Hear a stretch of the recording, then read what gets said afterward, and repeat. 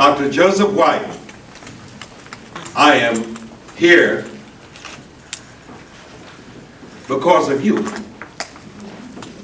When I got the call that Long Beach, Cal State Long Beach was celebrated and would acknowledge the incredible contribution that my friend and classmate from what was then San Francisco State College would be acknowledged and honored. I said, no matter what I'm doing, I'm dropping what I'm doing. I'm coming.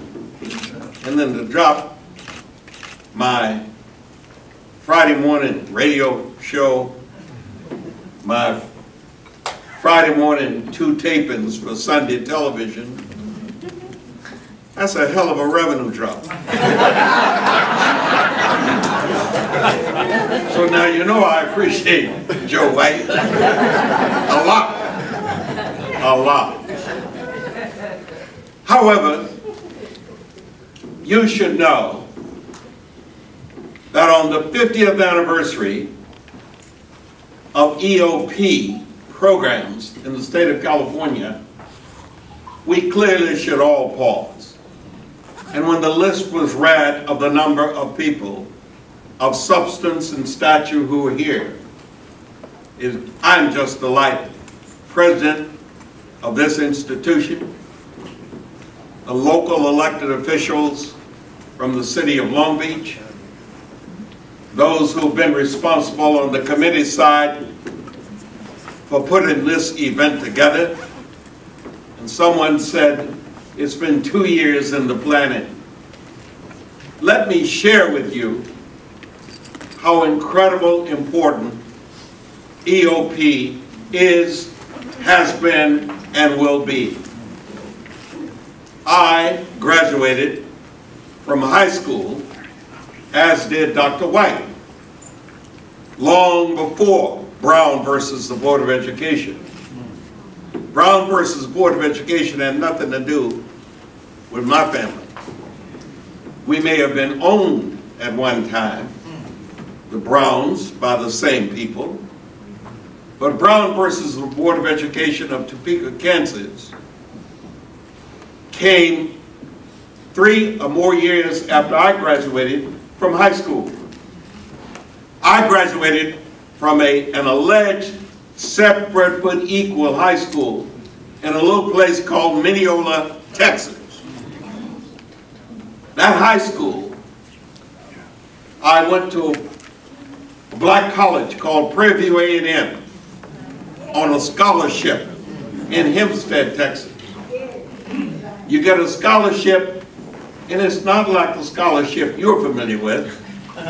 It's a scholarship that means three days after you graduate from high school, you're off to college because you got to help do the crops that feeds the students.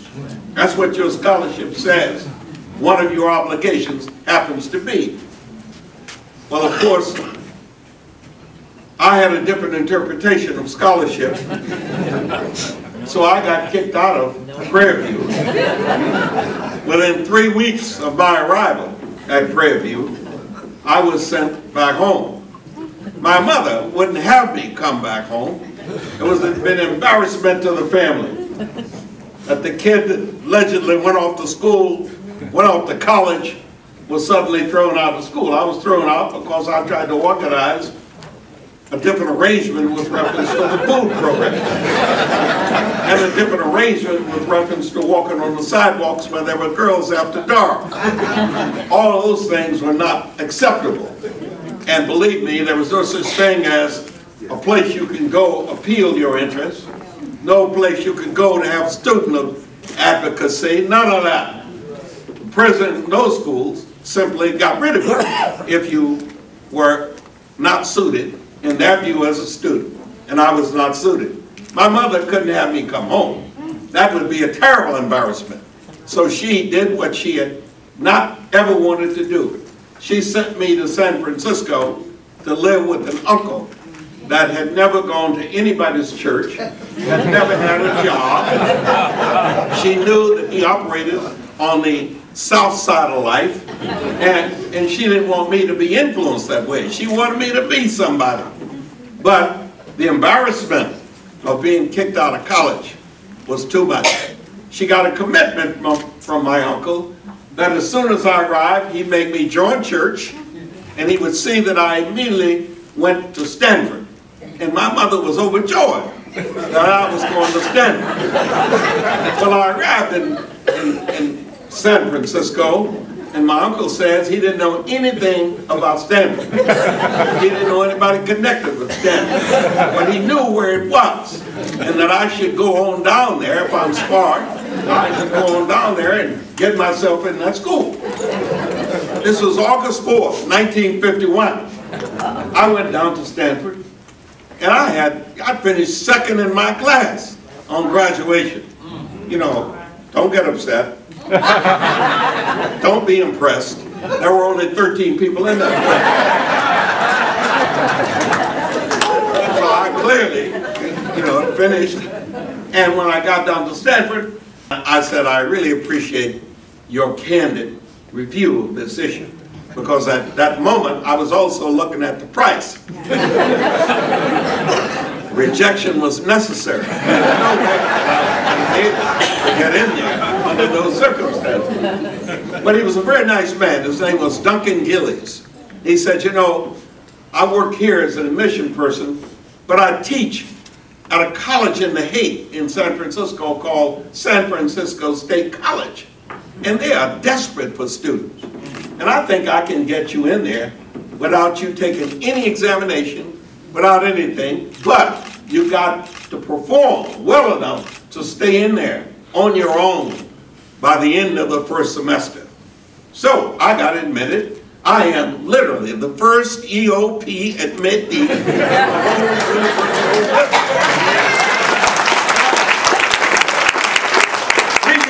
before Brown versus the Board of Education. Well, I got to San Francisco State, and I met people like Joe White. There was only a few African Americans in attendance there, and I think only Joe White and one or two others of us were not military veterans. Most of the people on the color side were veterans. They were there getting GI benefits, which satisfied us tremendously because they had money and we didn't. And it was a good working relationship. Well, Brown versus the Board of Education comes along. Needless to say, it was okay. I managed to somehow navigate. I got cinch notices the first six or eight weeks, but after that, I was okay because they grew, they grade at that time on that bell curve. And all you had to do was get on the other side of that curve. And I have always been able to get on the other side of every curve. So I got on the other side of it, the curve, and I became a real student at San Francisco State College. 1954, the NAACP and the various civil rights organizations had engaged in activities that had led ultimately to the decision made by the Supreme Court. There had been a whole series of other places where lawsuits had been filed, including in Texas, Sweatt versus Painter, whole series, McLaurin, whole series of cases where people had been trying to get some opportunity for equal education. Earl Warren, former governor of the state of California, Chief Justice of the Supreme Court, orchestrated that decision. And we all rejoiced. But our rejoice was short because there is clearly no path in this country to get that particular decision implemented. On top of that decision, the civil rights movement really commenced. Rosa Parks refused to get up. A whole bunch of other people. Martin came along and was given the responsibility to put together the program that would get Rosa Parks a ride along with all the rest of us. A whole series of organizations arose from the time of that decision, all focused on the idea that somehow we can ultimately implement Brown versus the Board of Education. At each stage of the implementation, it was clear there had been too many implementations of the old separate process. There had been too many implementations of all of the racism that exists in this country, all of the post slavery that introduced itself in this country on every basis. There had been just too much. The business of thinking you could open the door and certainly we would all run in was crazy. There had to be some steps taken. And a part of that process over the next 12 or 14 years, post Brown versus the Board of Education, was getting us to the point of programs like EOP. I got elected to the legislature in 1964. By 1966, all of the things that we had experienced over the years of trying to bridge the gap, all of the demonstrations that had taken place in this nation on behalf of equal opportunity in every category had been to, in one manner or another, synthesize itself. And in the world of education, nothing was more impressive than what educators had begun to do and say about the students and the gap existing between traditional students and non-traditional students. Suddenly, legislative bodies all over the country begin to think, how can we help? How can we provide the tools for implementation? And believe me, it took some real doing. But the legislative bodies in this nation, and in particular the legislative bodies in California, adopted steps that could be taken in the grammar schools, in the high schools, all across the educational spectrum, but in particular at the college level. And as they did that, and as all of the activities that had occurred in the civil rights movement and all the demonstrations that had taken place, the concept of EOP became a reality for the state of California. That was part of what the legislature was able to do. But the process of implementing it remained as it does even today in the hands and the souls of the people who are right on the scene where the students are, who are in fact doing the programs, who conducted the classes, who are doing all the things that need to be done to ensure that all of the rules and the visions and the regulations ultimately will, will allow for people to step up and actually gain the opportunity for an education, even though at some point they may have been denied all of the prep that would lead to it.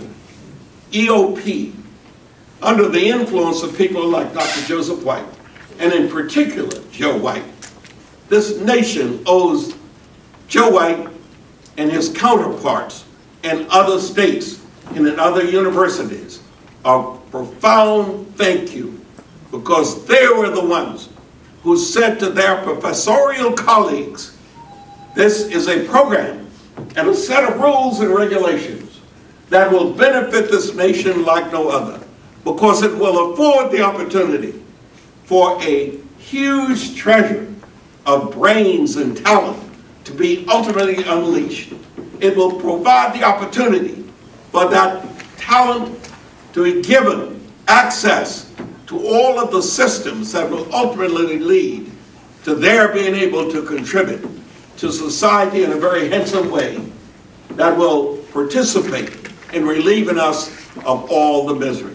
And I must say that the nature of what has occurred as a result of EOP can be measured all across this nation, in almost every institution in this nation. There is some remnant of it.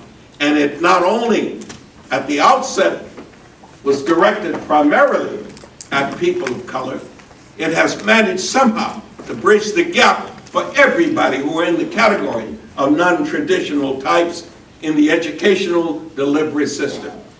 I will close by telling you that when I got on the airplane to come down here, and I came down by JetBlue. Some white guy recognized me. And he said, where are you going? And I told him where I was going. What are you doing at Long Beach State? I told him, he said, well, you know, this Trump thing is an issue, isn't it? I said, uh, well, yeah, he said, well, I got one for you. He said, can you imagine how this nation could possibly wake up if the billionaire, white billionaire, Donald Trump, ends up winning the presidency. Just think he is going to have to move into public housing previously vacated by a black family.